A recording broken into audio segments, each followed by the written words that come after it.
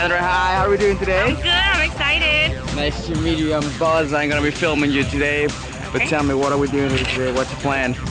I'm just gonna jump. I'm waiting to see if I get nervous. I'm still not nervous. I'm Oh. not scared. I'm excited. All Get right. on video. Why are you doing it? Any special occasion? Today's my mom's 50th birthday. Happy birthday, mom. Oh, happy birthday! And my baby's here too, so I want her to be part of it. Alrighty. So, is there something else you would like to say before we go? If I die, everything goes to my baby, and I love my husband and my family. That's it. You'll be fine. No worries. I'll see you next time. Have fun. Yeah.